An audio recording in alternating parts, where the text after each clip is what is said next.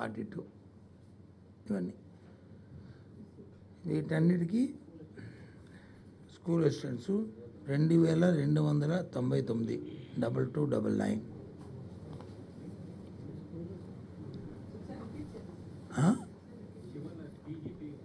ఇవన్నీ ఇస్తాను కదా మళ్ళీ మీకు. మళ్ళీ మళ్ళీ సర్క్యులేట్ చేస్తాం ఎస్జిటి రెండు వేల రెండు వందల ఎనభై. Double two eight zero. SA school assistants రెండు వేల రెండు వందల తొంభై తొమ్మిది. Double two double nine. TGT పన్నెండు వందల అరవై నాలుగు. Twelve sixty four. పీజీటీ రెండు వందల పదిహేను. Two one five. ప్రిన్సిపల్స్ నలభై రెండు. Four two. కలిపి టోటల్ ఆరు వేల ఒక వంద. ఇది. మీకు అందరికీ తెలిసిన విషయం. ఈ రాష్ట్ర ప్రభుత్వం విద్య పట్ల ఎంత ప్రాధాన్యత ఇస్తున్న అంశాన్ని మళ్ళీ మళ్ళీ మీకు చెప్పవసరం లేదు. మా ప్రభుత్వానికి ఉన్న ప్రాధాన్యత అంశాల్లో విద్య మొట్టమొదటిది.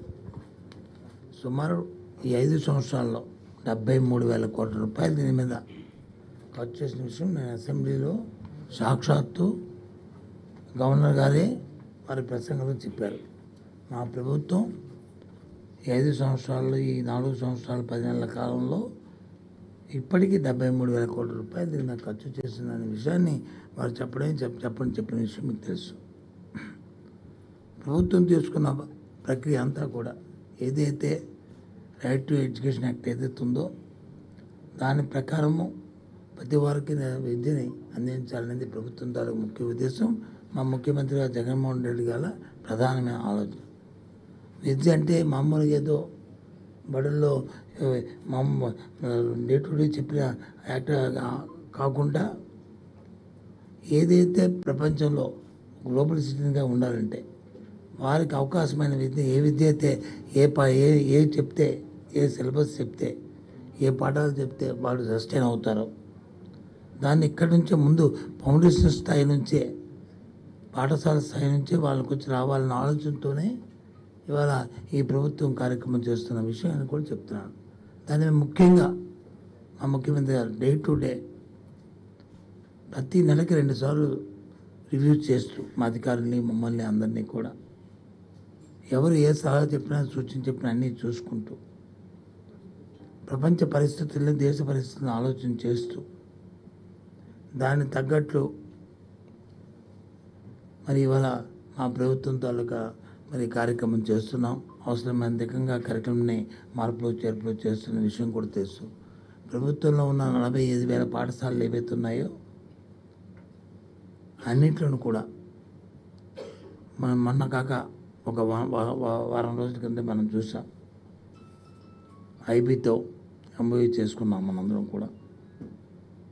ఎందుకంటే ఏదైతే ఇందాక చెప్పిన ఇందాక చెప్పిన ప్రపంచ స్థాయిలో వచ్చి స్టూడెంట్స్ సస్టైన్ అయ్యి వారికి అన్ని అవకాశాలు రావాలనుకుంటే వారికి కావాల్సిన సర్టిఫికేషన్లు కానీ వారికి కావాల్సిన విద్య కానీ కింద నుంచి స్థాయి నుంచి రావాలని వాళ్ళు చేసుకుంటూ ఒకటో తరగతి నుంచే మా తరగతి ఎస్సీఆర్టీలోనే దాన్ని ఇంకా పని చేస్తూ కంబైన్డ్గా కొలాబరేషన్తో ఎస్సీఆర్టీ అండ్ ఐబీ కొలాబరేషన్తో ఒకటో తరగతి నుంచే ట్వెల్త్ క్లాస్ వరకు ఎవ్రీ దాన్ని ప్రమోట్ అయిన తర్వాత ట్వెల్త్ క్లాస్లో జాయింట్ సర్టిఫికేషన్తో చేసిన విధానం దేశంలోనే మొట్టమొదట భారతదేశంలో ఆంధ్రప్రదేశ్ చేస్తుంది. ప్రపంచంలో ఏదో ఒకటో రెండు దేశాలు చేస్తే చేయొచ్చు కానీ ఆంధ్రప్రదేశ్ కూడా ఆ ఆ దిశగా ఆలోచన చేస్తూ చేస్తున్న పరిస్థితులు మనకు తెలుసు. అలాగే సిబిఎస్ని కూడా గత సంవత్సరం వాళ్ళతో ఒప్పందం చేసుకున్నాం వెయ్యి హై స్కూల్స్ని సిబిఎస్ సిలబస్లోకి వచ్చి మనం ట్రాన్స్ఫర్ చేసుకుని దాంట్లో మార్పు చేసి తగ్గ మౌలిక వసతులు కల్పించి ఆ కార్యక్రమాలు చేయడానికి ప్రయత్నం చేసిన విషయం మీకు అందరికీ తెలుసు. దాంతోపాటు ఇంగ్లీష్ మీడియం ఇంగ్లీష్ మీడియంని మొదట మొదట పెట్టాం. దాంతో ఆ- ఆ ఇంగ్లీష్ మీడియంలో విద్యార్థులకి అవగాహన తర్ఫీదు బాగా లెర్నింగ్ ఇంగ్లీషు స్పీకింగ్ ఇంగ్లీష్ రావాలనే ఉద్దేశంతోనే టోఫిల్ నుంచి థర్డ్ క్లాస్ నుంచే మరి ప్రైమరీ అలాగే ఇవి అని పెట్టి ఎగ్జామ్స్ పెట్టి వాళ్ళు చేసిన విషయం కూడా మీ అందరికీ తెలుసు. ఎన్నో చాలామంది చాలా చాలా విమర్శలు చేశారు. ఇంగ్లీష్ మీడియం ఎందుకు?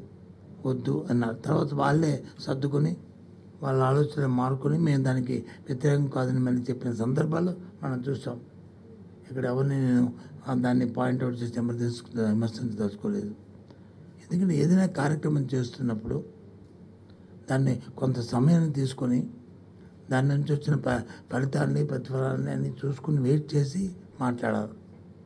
అలా కాకుండా మాట్లాడినప్పటికీ కూడా ఏదేమైనా మా ముఖ్యమంత్రి గారి ఆలోచన ప్రభుత్వం ఆలోచన మనం విద్యార్థిని దృష్టిలో పెట్టుకొని ఆ విద్యార్థికి ఓ నాణ్యమైన విద్య ఇవ్వాలని సరళంగా సరళంగా ఆ విద్యార్థి వచ్చి కాంపిటీషన్లో కాంపిటేటివ్ ఎగ్జామ్స్లో తట్టుకునే విధంగా ఉండాలని దానికి తగ్గట్టు ప్రక్రియ జరగాలని ఇవాళ అది చేసుకొస్తున్నాం. అందులో భాగంగానే ఎయిత్ క్లాస్ నుంచి మనం ట్యాబ్స్ కూడా ఇచ్చిన పరిస్థితి కూడా మీకు తెలుసు. లాస్ట్ ఇయర్ ఇచ్చాం ఈ ఇయర్ ఇచ్చాం. ఇంకా ఇది ప్రతి సంవత్సరం కూడా కొనసాగుతుంది. ప్రతి సంవత్సరం కూడా ఈ కార్యక్రమం కొనసాగుతుంది. దీంతో పాటు క్లాస్ రూమ్లో ఏవైతే ఆరో తరగతి నుంచి పదో తరగతి వరకు ఇంటరాక్టివ్ ప్యానల్స్ పెట్టాం. దాని ప్రకారం కాక వన్ టు ఫిఫ్త్ క్లాస్ వరకు ఒక్కొక్క స్కూల్కి అక్కడ వచ్చి ప్రతి క్లాస్ రూమ్కి పెట్టాం. సుమారు అరవై అరవై వేల ఐఎఫ్టీ పెట్టాం. అరవై వేలు. అరవై రెండు అరవై వేలు. అరవై వేలు. ఇప్పుడు వచ్చి అలాగే స్మార్ట్ స్మార్ట్ టీవీస్ వచ్చి స్కూల్ ఒకటి పెడుతున్నాం. నెంబర్ ఎంత అనేది ముప్పై వేల కదా? ముప్పై. నలభై ఉండవు స్కూల్ ఒకటి వన్ టు ఫైవ్త్ క్లాస్. ముప్పై ఐదు ముప్పై రెండు ముప్పై మూడు వేల వరకు ఇవి కూడా పెడుతున్నాం. ఇవి కూడా. ఇవి ఎందుకు చెప్తున్నామంటే ఇవన్నీ కూడా ఇది మా కంప్యూటరేషన్ అవుతుంది అందులో డిజిటల్ ఎడ్యుకేషన్ పెరుగుతుంది అందులో ఆన్లైన్ కోర్సెస్ పెరుగుతున్నాయి అందరూ మన పిల్లలు కూడా అందరిలాగా చూసుకోవాలి అందరిలాగా ఉండాలని కోరుకుంటున్న నేపథ్యంలో ప్రభుత్వం కూడా దాని తగ్గ ప్రోత్సాహం ఇస్తూ ప్రభుత్వం కూడా ఆ దిశగా ఆలోచన చేసి చేయాలనే ఆలోచన దృక్పథంతోనే ఈ కార్యక్రమాన్ని చేస్తున్నాం. ఇది దాన్ని ఆలోచన చేసి మరి దేశ రాష్ట్రంలో ఉన్న మేధావులు కానీ లేదా రాజకీయ పార్టీలు కానీ ఆ దిశగా ఆలోచన చేయవలసిన అవసరం ఉంది. ఇంతేకాదు ముఖ్యమంత్రి గారు ఒక ఆలోచన మా అధికారులందరూ కూడా ఆలోచన చేసి థర్డ్ క్లాస్ నుంచే సబ్జెక్ట్ టీచర్ ఉండాలని. ఇంతకుముందు ఇప్పుడు ఫస్ట్ నుంచి ఫిఫ్త్ స్టాండర్డ్ వరకు ఒకే